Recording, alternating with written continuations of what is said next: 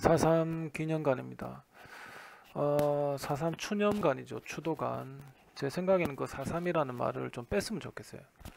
4월 3일은 뭐 그렇게 기념할 만한 그런 날이 아닙니다. 그냥 4.3 항쟁, 4.3 항쟁 이런 말도 빼고 그냥 제주 항쟁 했으면 좋겠어요. 제주 행, 제주 항쟁. 굳이 4월 3일이라는 날짜를 안 넣었으면 좋겠습니다. 이유는 이제 밑에 나오는데 엄청 많이 울었어요. 그 대기 건물 좋죠. 월요일 날 안 합니다. 월 첫 번째, 세 번째 월요일인가 안 해요. 아무튼 DJ께서 4.3을 알렸으면 이거를 건물을 짓고 완성이나 예산 확보는 다 노통이 다 했어요. 들어가면 이제 대강당이 있는데 다큐 보고 싶으면 그 직원분에게 틀어달라 해야 틀어줍니다. 그래서 정말 잘 되어 있습니다. 이렇게 입구에 들어가면 대강당 있고 이래서 화장실 있고 3번, 4번, 5번, 6번 어, 나가는 길에 다랑시 굴이 있습니다. 다랑시 굴에 꼭 가야 돼.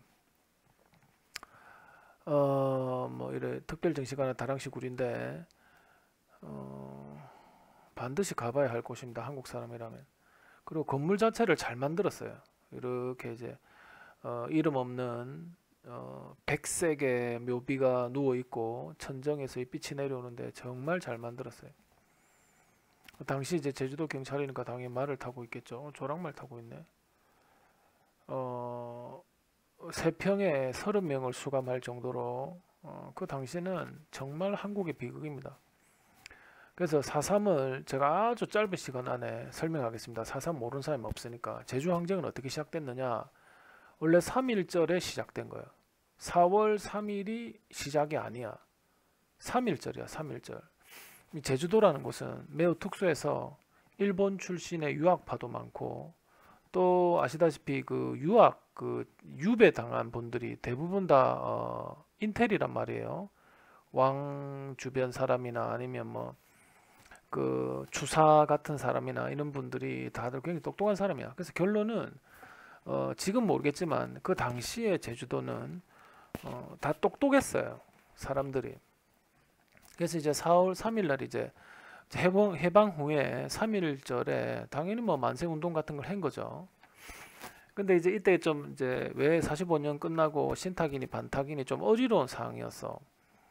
그래서 뭐 일단 당연히 반일 운동이니까 어 좀 경찰과 각이 있었어. 왜냐하면 이제 그때 당시 경찰은 어 미군 놈들이 정말 실수인 게 미친 놈들이 일본을 쫓아내는 게 아니고 어, 지금 이라크나 아프가니스탄을 어, 자기들이 컨트롤하기 위해서 친미주의자를 뽑듯이 그 당시에 경찰을 어떤 뭐 어떤 정상적인 방법으로 뽑은 게 아니고 그 당시에 일본 순사를 한국 경찰로 둔갑시킨 거예요.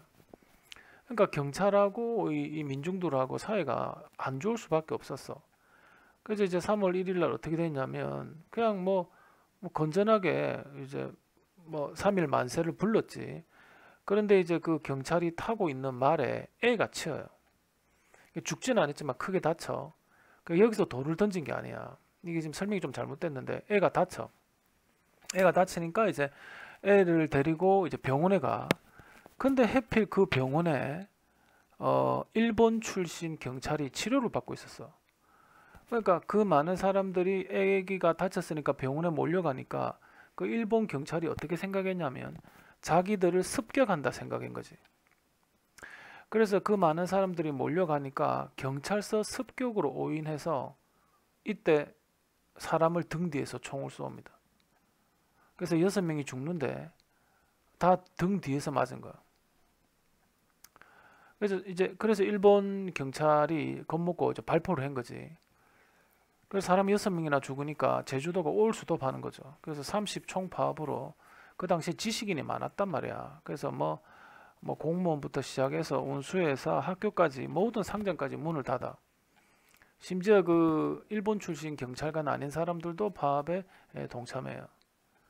그러니까 이제 미 군정에서 어떻게 생각하냐면 지금의 이제 지금의 이라크나 아프가니스탄에서 반미 운동을 한다 생각인 거지. 그러니까 이 모든 비극의 시작은 사실은 일본이고 그 다음이 미국도 이 죄에서 벗어날 수 없어요. 그래서 카스티엔과 뭔가니 인간이 조사단을 이제 어? 파견했는데 어, 반감이 고조된 거를 어? 남로당 애들이 선동해서 증폭했다. 이런 식으로 말도 안 되게 기술한 거지. 그러니까 미국 새끼들이 통킹만이나 이런 것처럼 조작을 굉장히 잘합니다. 미국 애들은. 그래서 자국에 이게 반한다 싶으면 무조건 보고서를 조작해. 그래서 제주도 인구가 다 어? 좌익이다. 그리고 그 당시에 이제 경무부 최경진이라는 인간은 국민들이 다 어? 제주도민이 전부 다 어? 뭐 좌익 색채다 이런 개소리를 하는 거야. 그래서 이제 미 군정이 이제 투입되는 거죠. 이때 미 군정이 신임 도지사를 투입하는데 그 신임 도지사 유해진은 호위병으로 어, 서북 청년단을 데리고 옵니다. 서북 청년단은 간단히 설명하면 친일파입니다. 친일파인데 북한에서 내려온 애들이에요. 그래서 북한의 공산주의를 반대하는 그냥 친일파야 친일파. 공산 공산주의 반대하는 것도 아니고 그냥 친일파. 그래서 이제 군대와 서북 청년단을 투입하자. 아, 여기서 김민열 연대장이 참 이 사람 대단한 사람인데 그래서 김민열 연대장은 어, 평화 협상을 하자 평화 협상 평화 협상을 하자가 어, 초반에 예, 성과를 거둡니다. 그래서 무장대 정책인 긴담을쌈하고 평화 협상이 성사됩니다. 그런데 웃기는 거는 미군이 예, 김익렬을 해임해 버립니다. 왜냐면 미국 애들은 어 그냥 학살하겠다고 마음을 먹은 거지. 그래서 통킹만 통킹만하고 똑같아. 통킹만처럼 오라리에 불을 지르는데 서북 청년단이 통킹만 사건으로 베트남 전에 일어났듯이 실제 그 제주 항쟁의 가장 큰 문제는 바로 이 오라리 방화 사건입니다. 김익렬 대장이 어, 김달삼하고 평화를 이루기로 했으나 어, 서청이 오라리에 불을 질러요. 어, 불을 저지르고 어, 나중에 이게 이제 어, 이거는 김달삼의 짓이다. 무장 무장대의 짓이다 이렇게 어, 얘기합니다. 그래서 실제 그래도 웃기는 거는 김일령 영대장이 조사를 하니까 서청의 짓이다. 어, 그런데 그래 보고를 했지만 CIC 지금 이제 CIA죠. CIA는 폭도의 소행이다라는 경찰의 주장만 받아들입니다. 음, 근데 결국 미군이 경비대에게 총공격을 해라 해서 평화협상은 결국 깨지죠. 어, 근데 이런 이유가 있어. 왜 그러냐면 이제 시, 선거가 다가오고 있기 때문입니다. 그래서 선거가 다가올 때는 뭔가 뭔가 어, 이슈가 있어야 돼. 그래서 결국 이제 5위 50 단독 선거를 하게 되는데 그래서 미군 입장에서는 북한은 김일성이가 가져갈 거니 남한을 이승만에게 몰아주려면 제주도 같은 곳에서 어? 빨갱이가 있다. 제주도에 빨갱이가 있으니 이승만이 당선돼야 되지 않겠느냐 이런 식입니다. 그래서 항상 선거 전에는 예, 얼마든지 이런 일이 일어나죠. 그래서 나 지금 지금 2020년인데 이란하고 트럼프하고 조금 안 좋아요. 근데 아마 올해 이제 트럼프 선거가 있으니까 이란이 이제 이용당하고 있는 것 같은데 어 그냥 뭐 짜고 치는 고주톱이라 큰 일은 없을 겁니다. 원래 그런 거예요. 원래 이란하고 어떻게 전쟁을 하겠어? 이란이 핵이 있는데. 그래서 이런 원리로 트럼프는 북한을 공격할 수 없습니다. 북한은 핵이 있죠. 그래서 핵이 생기는 바람에 아이러니하게 전 세계가 뭐 아슬아슬한 균형을 이루고 있다 이렇게 생각하시면 됩니다.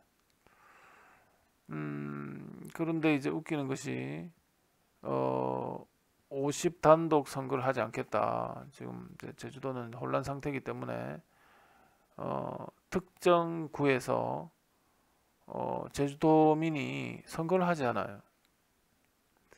그래서 남한의 단독 선거를 제주도민이 일부가 거부를 하고 산으로 올라가 버립니다. 그게 이제 산 꼭대기와 해안가의 중간쯤 되는 어, 산간 지방이 아니고 준산간 지방인데 그걸로 올라가 버려.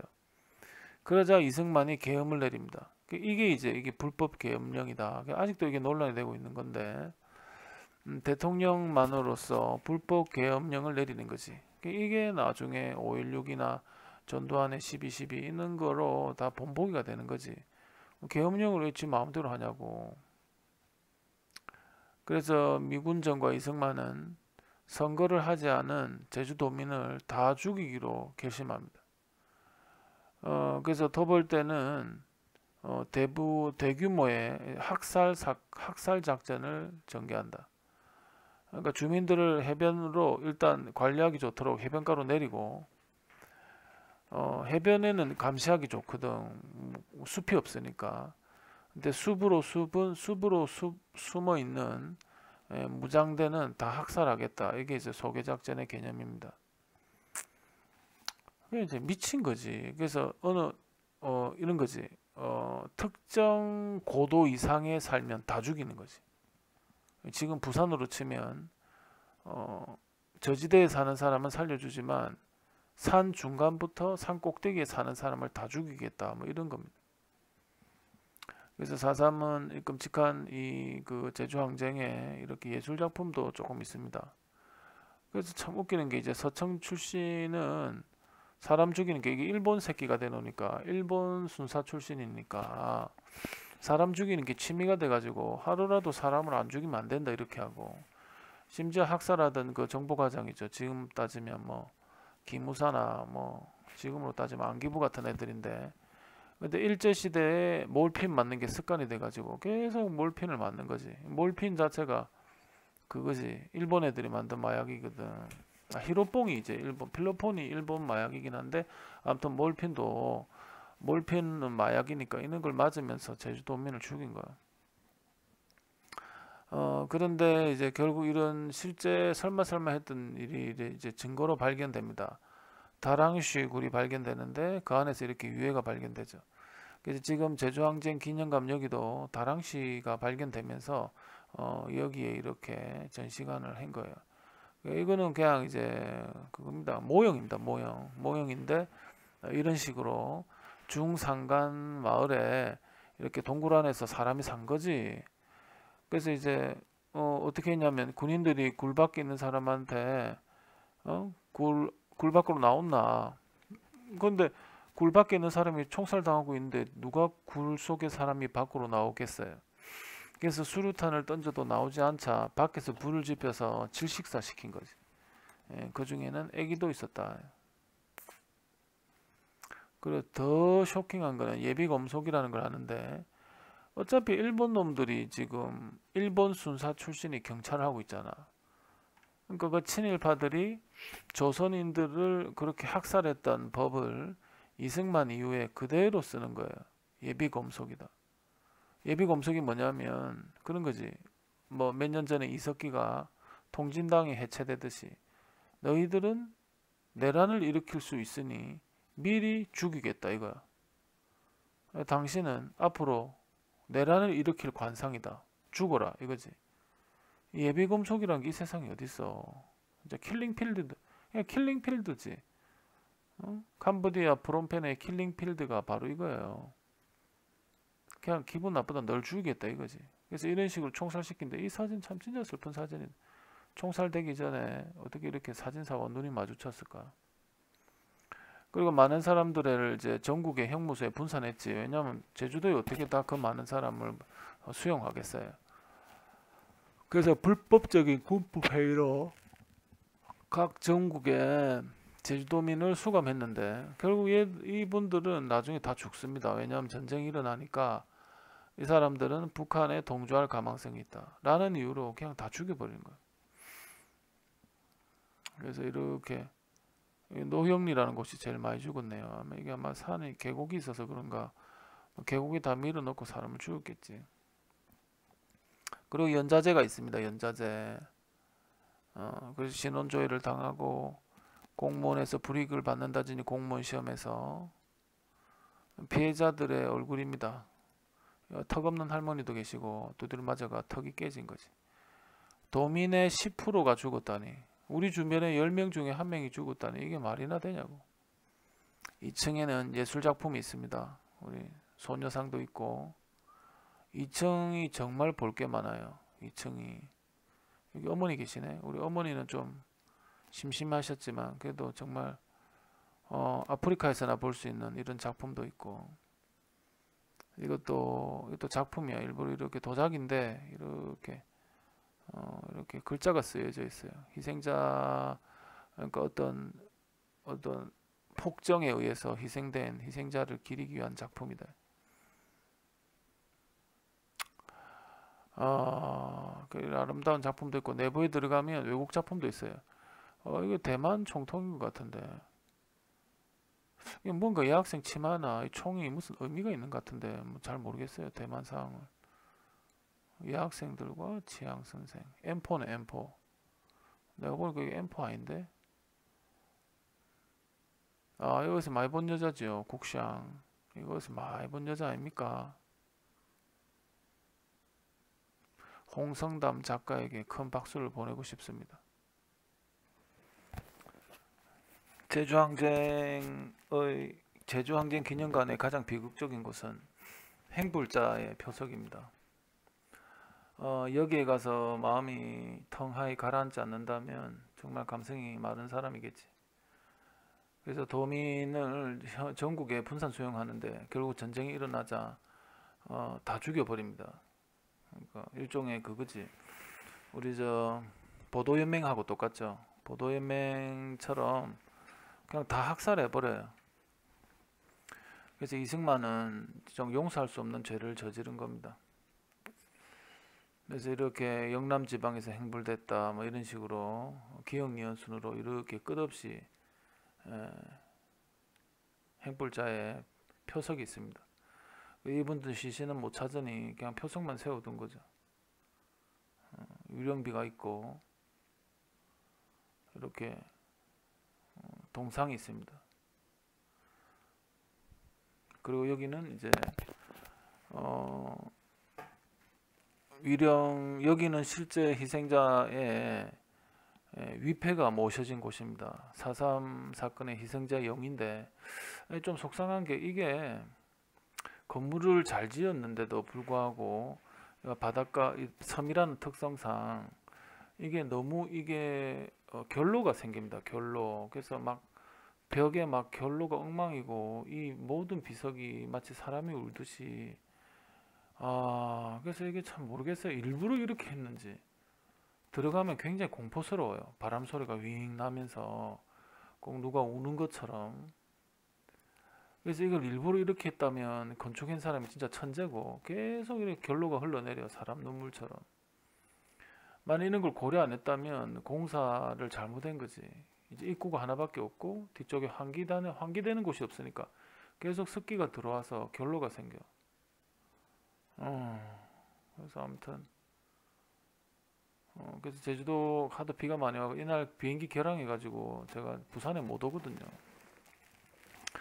그래서 그날 밤에 결항돼 가지고 그 다음날 아침 새벽 6시 비행기를 어, 겨우 타고 왔는데 심지어 그 6시 비행기마저도 또 지연돼서 어, 결국 9시 비행기를 타고 부산 왔습니다만 이 나는 이 무지개를 보고 아 나는 참 행운이 있겠구나 생각했는데 아무튼 제주도를 쉽게 그렇게 빠져나오지 못했네요. 개량이 돼가지고